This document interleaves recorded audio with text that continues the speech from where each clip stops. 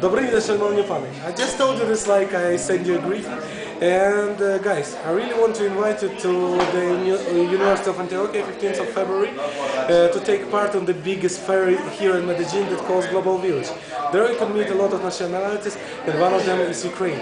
Ukraine is my country, so you will be able to meet me, you will be able to meet my food, you will be able to meet my culture, to meet my language, and all the stuff that really that really makes fun of my country. Uh, and uh, from this moment, I, yo quiero despedirme y quiero invitar a todos para visitar Global Village. Esto es muy chévere. Medellín es the best.